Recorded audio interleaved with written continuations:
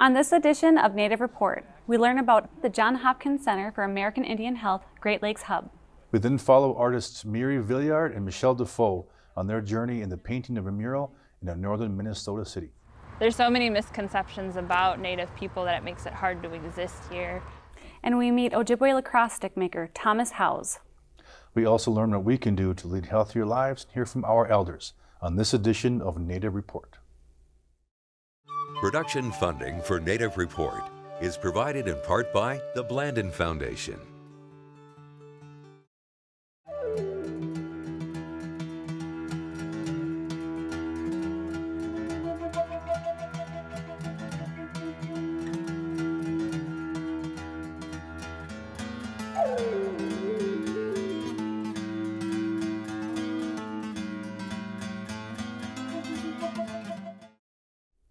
Founded in 1991, the Johns Hopkins Center for American Indian Health supports public health interventions designed for and by Native peoples and has offices in tribal communities across Arizona, New Mexico, as well as a Great Lakes hub serving tribes in Minnesota, Wisconsin, and along the shared border with Canada.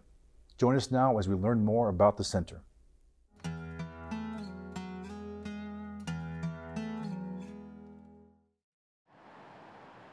Tucked away on a side street in Duluth, Minnesota, is the Johns Hopkins Center for American Indian Health Great Lakes Hub. The center opened in 2019, and with this expansion into the Great Lakes region, the center will reach 125 Native communities in 20 states.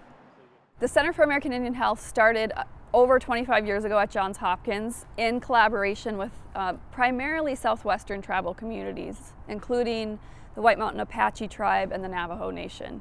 And the founder of the center, Mathu Santosham, actually lived and worked as a uh, physician on the White Mountain Reservation. Uh, and when he started working with the community, they were experiencing a lot of loss of their infants due to uh, diarrhea and um, dehydration, actually. And so with White Mountain Apache tribe, Mathu and others created what now is known as Pedialyte, or oral rehydration therapy, which has saved millions of lives across the world. The Center for American Indian Health has its anchor administrative ship, I guess, in Baltimore at uh, Johns Hopkins University, and then we have hub offices all across the southwestern U.S. and here in Duluth, Minnesota. After receiving my PhD in 2007, I really knew I just wanted to come back to Minnesota. I wanted to work with our tribes. About 2000, 12, I started working with people at the Johns Hopkins Center for American Indian Health uh, as a guest lecturer in some of their institute courses. And the more I learned about the center at Johns Hopkins, the more I saw they were really working to influence policy change. And policy change translates into changes at the local level, which translates into differences in our health outcomes. After a lot of years of discussion and a lot of years of trying to figure this out, we joined the Johns Hopkins Center for American Indian Health in uh, 2019. There are 13 who work at the Great Lakes Hub. Melissa and two others are faculty members at Johns Hopkins, and several local undergraduates are also part of the team. Our students serve as research assistants for us, so they do everything from data entry to helping us prep packages to be sent out to communities for both research and public health uh, programming and do everything you can imagine under the sun to make sure that all the work gets done. So for example, we have a family-based drug and alcohol prevention program we do with kids. We are just getting ready to launch a home-based diabetes intervention, which focuses on intervening on diabetes in adults, but preventing it among our youth. And through all of that, we take the lessons we've learned from all of the research to create what are called empirically or, or evidence-based programs that we hope will have impact. All of our research is a thing called community-based participatory research, so CBPR. And what that means to me is that our community team is equal partners in the process. I may be listed as um, the administrative lead on a project, but I don't lead. I co-lead with community team. So everything we do involves community-based interviewers, research council members, co-investigators of the projects who decide what should we study, how should we study it, every questionnaire that goes out, every survey, we painstakingly pour over every single item together to decide is this worth asking? Is this important to my community? And then our team also works together to get the data back into the community once it's collected. We work uh, with some tri local tribal clinics and hospitals. We also work outside of clinics and hospitals on projects uh, in people's homes and always, no matter what we do, before we start anything, we get tribal approval through uh, government tribal resolutions. Across our projects, we work with over 80 tribal members from tribes all across the region.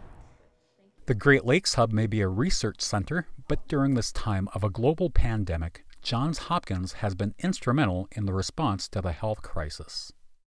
When it hit, we happened to find ourselves working for Johns Hopkins University, which is the number one public health school in the world and is honestly the leader in tracking the COVID 19 pandemic and doing research on this topic. Because of our home with the center, we've had access to get PPE very quickly out to some of our clinics.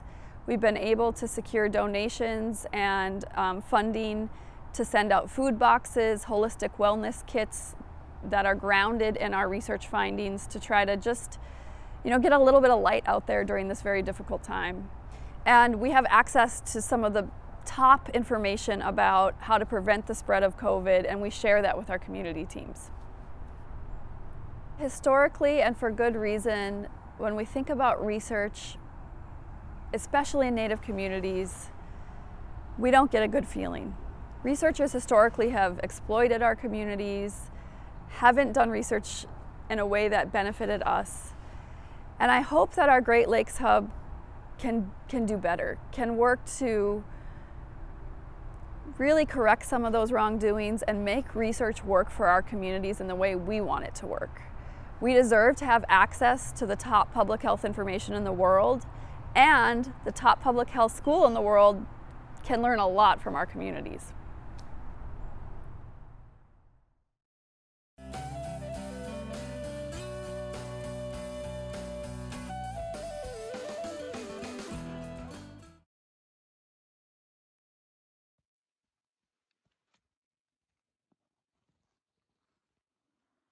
Buju and Dinaway Maganadug.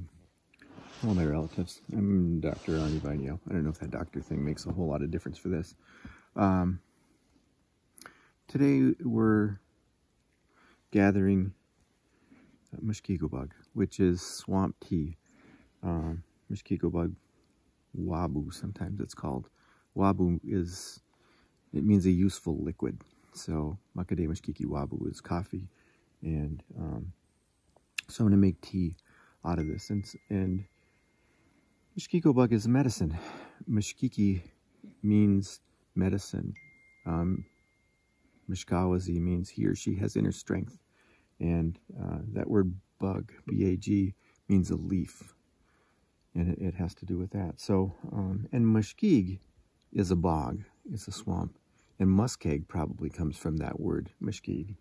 So, but this is, this is swamp tea. This is Mushkego bug. Lavender tea, it's also called sometimes. And when you when you harvest something, when you gather something, um, and especially the first time you do it, but every time you do it for this, you know, you should offer tobacco. Tobacco is, it's a, it's a gift from the Creator, and it's something that we use in all our ceremonies. And, um, Miigwech Mushkego bug. Mishkiki. So, you know, this medicine thing, this for medicine. Oda paniknida semam. Um, please accept my my tobacco. And when you harvest this, then um, you know, harvesting this is medicine. And um, and I'm actually picking this for someone else and someone who's got COVID-19 and um, that I haven't even met social media thing. And, you know, but somebody that I like, somebody that's raising daughters or granddaughters by herself. And um, so I'm going to send this to her. I'll ask for her address and send this to her. But, and when you, when you harvest something, you don't want to take all of it. You know, you want to take what you need. And You know, you don't want to invent some kind of a machine that can just come in here and take all of this. You know, if you're, if you're gathering it as medicine, um, you need to be respectful of this. And you need to, I was told by an elder, Herb Sam, who um, wanted me to know a lot of things that, uh, you know, if you're using this as medicine, that uh, you don't necessarily accept this as medicine. This has to accept you. And we're we're all part of nature and we're all interconnected. And this bog, you can hear. You know, people don't come into these bogs because they're swampy and and wet and in the summer full of mosquitoes. But these are full of life and these are full of medicine. And there's things that we can learn from this. So, um, we drove quite a ways to come out in the woods. We don't want to be next to a highway when we do this with uh, all the exhaust fumes and all that stuff. So we tromped out into the woods um, to do this, and this is this is medicine.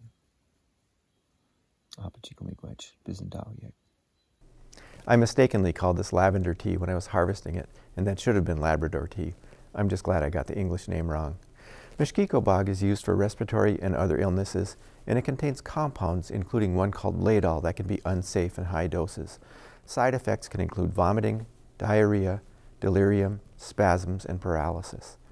A generally recommended safe amount is one teaspoon of dried leaves to one cup of boiling water, and limiting that to one cup per day. Stay safe, everyone, and remember to call an elder. They've been waiting for your call. I'm Dr. Arnie Vainio, and this is Health Matters.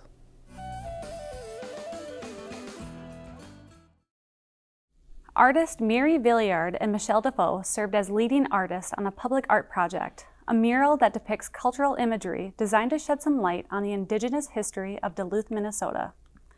The mural serves as a reminder that even in uncertain times, the stories of the land we reside on and the people who were the first stewards of Turtle Island should not be forgotten.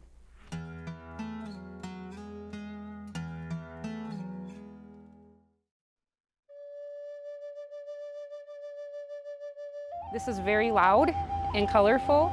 We're here For people who are native to be able to see something and be like, I really identify with that or that, you know, that image and that symbolism. It just means so much. It's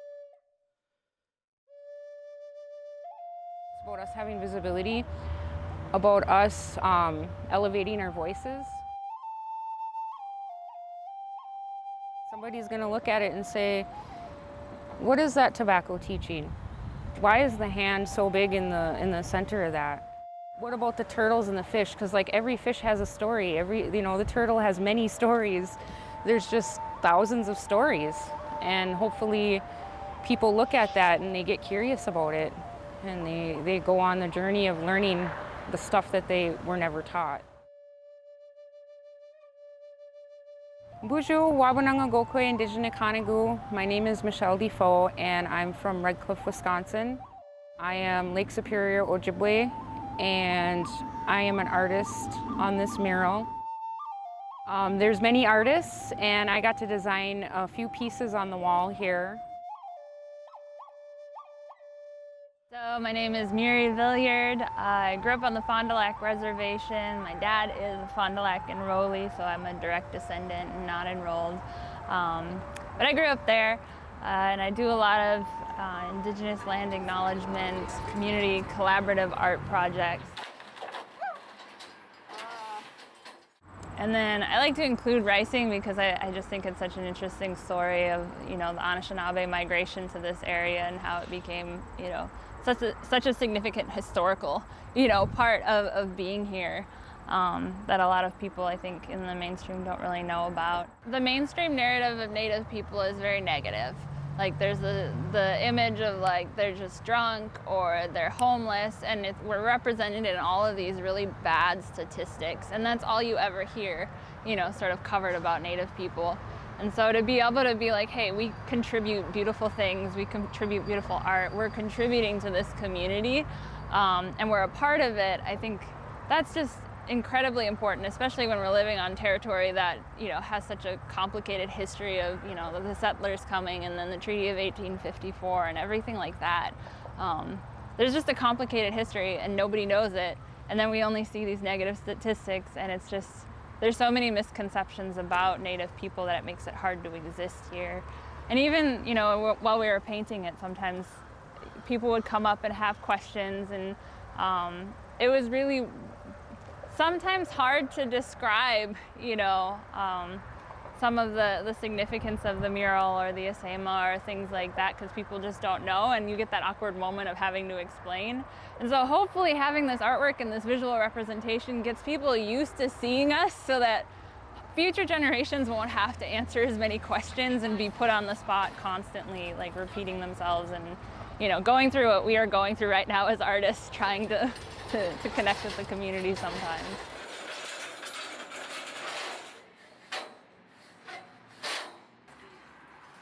Over the years, we've slowly been um, creating space here for us with our own voices and our own vision. It's important that we tell our own stories.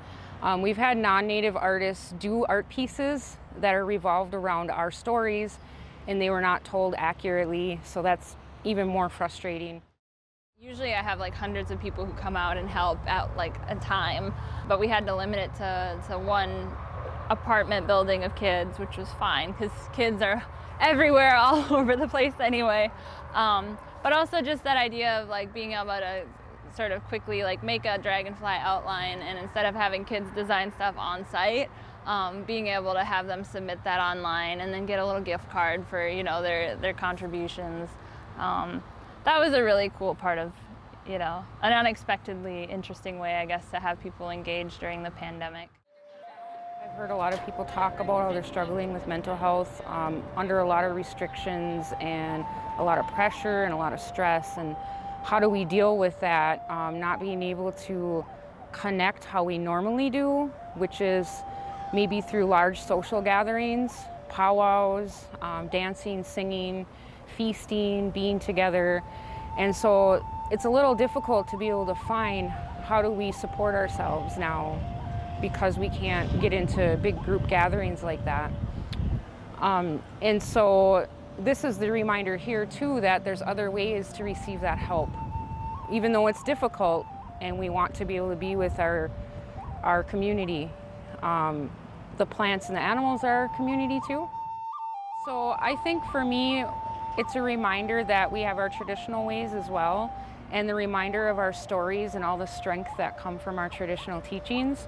And so when you look at this mural, there's a lot of Ojibwe teachings in here to pull out. And um, the reminder that we're not alone, um, the plant life and the fish life are here and they've always been here. And they're like our ancestors, they're older than us. And um, so if we need help or we're having a hard time, we can always offer tobacco, which is our first teaching, tobacco offerings, and ask for help. And so they're there to help us and um, they care about us and love us. And so that's incorporated in our teachings. The beautiful parts are resilience, you know, because what Moira was talking about, people like to focus on the trauma and the, you know, the horrible parts, which is important to know about. But what about the resilient parts of us? You know, what about the parts that give us strength? And um, so hopefully this mural helps people identify with that too.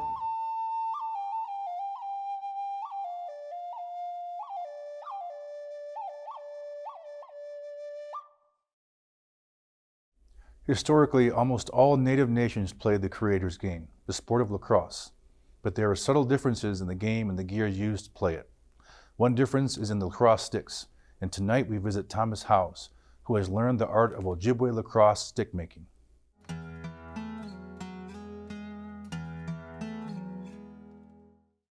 It's uh, tricky. And so it's all catching and pulling and turning your wrist over because it's such a small hoop. And so that's how you can catch. Same thing if it's on the ground, you're, you're capturing it and turning it over. Right around me. Everybody come on in. There's a reason we've had this game, Ojibwe people have had this game for, I don't even know how long. You know, before, before Europeans, we had this game. And with that uh, interaction, we've lost contact, at least with it here, especially in my village, at, you know, in, in Fond du Lac, you know, that there's no one around that, that remembers the, where it was played. There's uh, Tom Peacock has a story though that the old ball field up on Res Road, before it was a baseball field, was a lacrosse field. You know, so one of these when this pandemic's over, uh, I'm making sticks partly for that. Make a set of sticks and we're to go have a game and sort of reclaim that space. It's relatively new to me. I haven't been doing this for that long still a learning learning process. I was really getting into it and then this pandemic happened. It's really fun to play with people that know really well how to play. Menominees, Ho-Chunks, Ojibways, Lakotas, Dakota. And man, is that fun. Just to play with like high level. Man.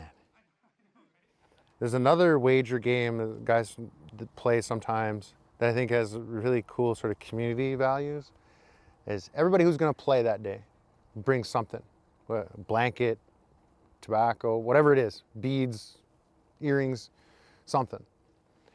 And if you're going to play, you put your stuff in the pile. And then you play. And if I score, I get to go to that pile. And I get to take anything I want. But I don't get to keep it.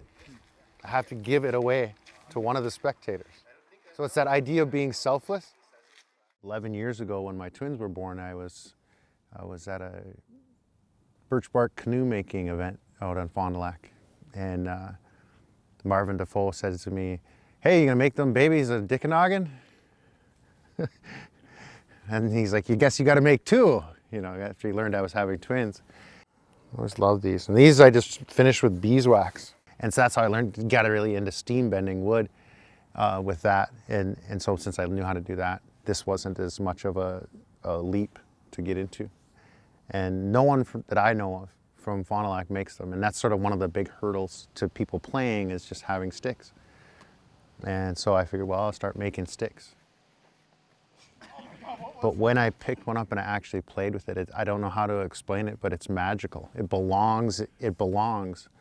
It's just probably part of uh, the way I see the world, I guess, as an Ojibwe person, is we've lost so many things. And to be able to reclaim, revitalize uh, the game play itself, but also the art of making them, uh, just sort of appealed to me.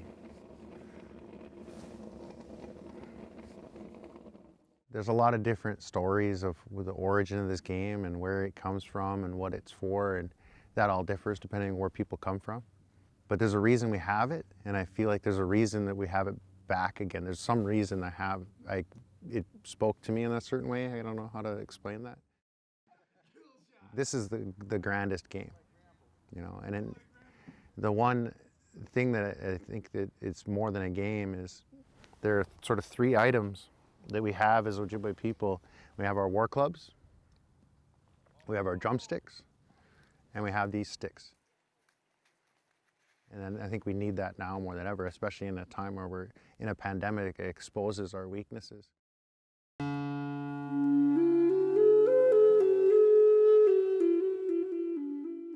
This morning, it was very uplifting to hear from uh, past NCAI presidents and, you know, tribal leaders uh, about the importance of this election and Native Americans' part in it.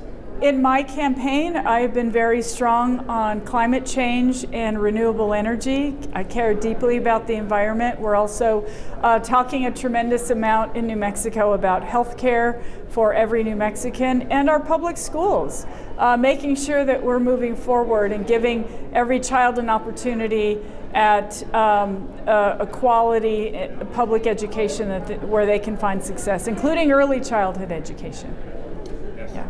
Yeah. And of course here uh, at the conference, uh, in, in the event I just left, there were a number of women who have been working on uh, the uh, missing and murdered Native women uh, that epidemic that's sweeping our nation. So uh, that's also an issue that I, I have um, talked at length about and care deeply about in my campaign as well. Tribal leadership in this country is, is important.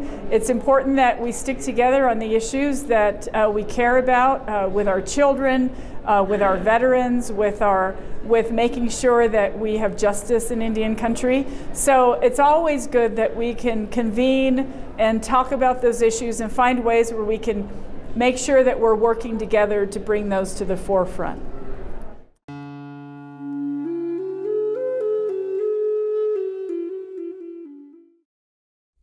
For more information about Native Report, look for us on the web at nativereport.org, on Facebook, YouTube, and Instagram. Thank you for spending this time with your friends and neighbors across Indian country. I'm Rita Aspinwall. And I'm Ernie Stevens. Join us next time for Native Report.